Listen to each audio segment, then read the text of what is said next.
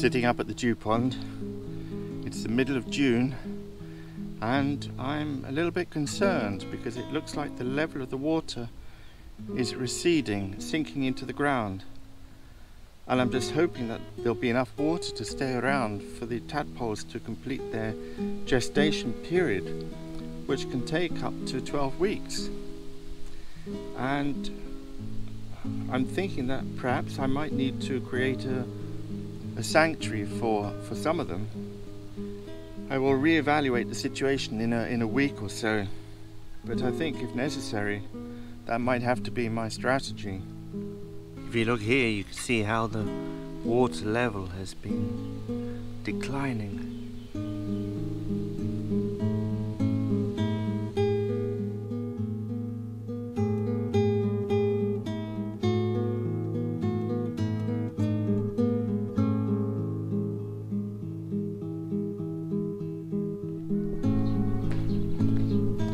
Really didn't want to, to do this, but uh, sometimes nature needs a little bit of help.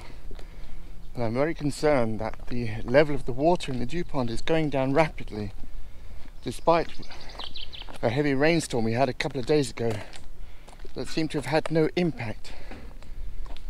And the level of the water is very low, so what I propose is to put this what is uh, Zorro's swimming pool, cooling off pool, into the water to try and scoop up some of the tadpoles into this. And uh, hopefully one or two of them will survive. But the water is very low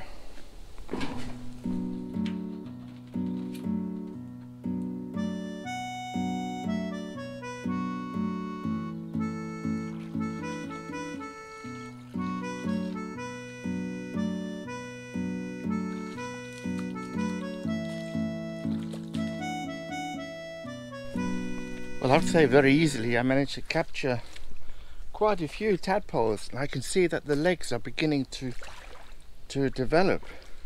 So uh, let me show you what I've captured. I let it all settle.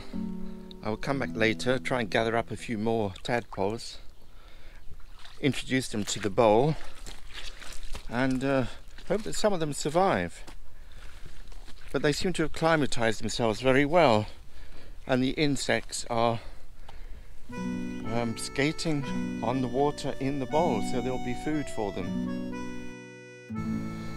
It's Monday the 26th of June and I'm back up at the dew pond after yesterday when I sank that large vessel in the water and already I've noticed that the level of the water is going down so it's getting quite critical that whatever water is here is not going to be around for much longer.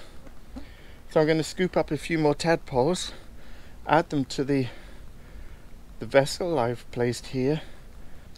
Out of all the many that I saw at the beginning, 70, 80 or so, very few will survive, but I think that's the natural course of things. Let me get on to it.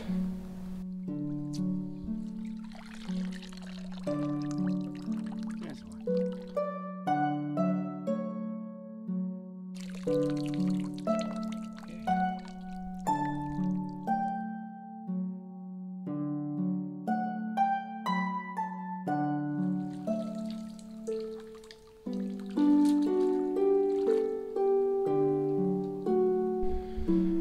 just hope there's enough water and enough nutrients for them. And that they're not bored swimming in circles. But once they develop their legs and uh, are ready to leave the water, it shouldn't be too difficult for them to climb out. See if I can capture one or two more. I don't know how many tadpoles I've collected all together, maybe about 25, 30. I hope they get on with each other in that small container. I've collected some more water in a, in a red bucket that if I need to top up at some point there will be some water there which is uh, same as the water that they were growing up in.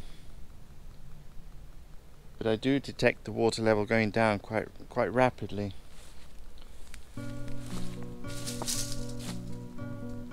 Well, we'll see, and let's hope something will come out of this. I think I might look into getting some kind of waterproof membrane to put down and line the dew pond for next year. So I don't need to go through this palaver again.